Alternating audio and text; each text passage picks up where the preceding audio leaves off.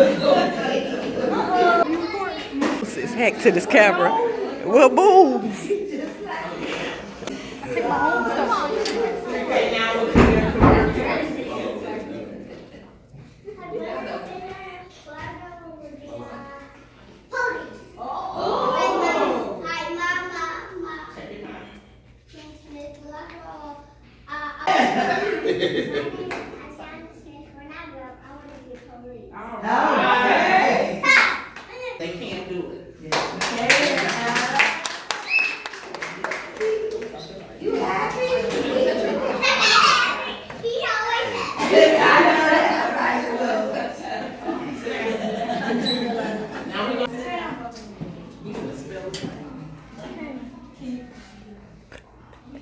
Mima.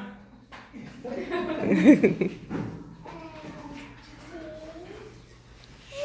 look at my baby.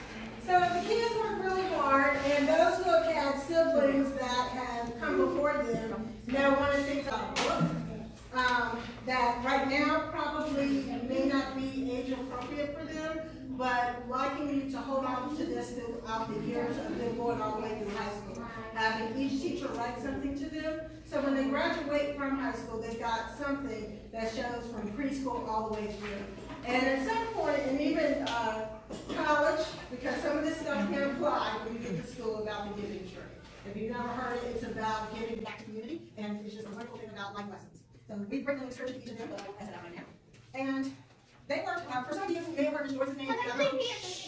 We had, um, a tutor who came in, uh, twice a week and worked with kids on spelling, writing, just different things that we wanted to help boost them up, and maybe in the classroom when they study, they weren't able to get that one-on-one, and so this is their scope of work that they get, that they put together with parents.